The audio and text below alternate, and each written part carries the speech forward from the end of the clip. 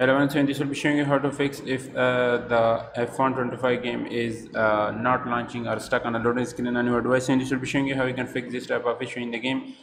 So uh, the first thing you need to do to fix this type of issue in the game is simply uh, click on window icon and then restart your device. So once you restart your device then go to the search bar here you need to go to the background apps and uh, you need to turn off all the background apps that currently running on your device so once you turn off the background apps next you need to uh, right click on the window icon and then open the task manager. So here in the task manager you need to force close all the background processes that currently running on your device and you don't need it. So uh, if you have a lot of background processes and it's running on your device and you don't need it so it can cause and trigger this type of issues. You need to turn off this type of background apps. So once you do that then uh, if you're launching the game from Steam, then right click on the Steam and run the Steam as administrator. So once you launch the Steam as administrator, then go to library collection.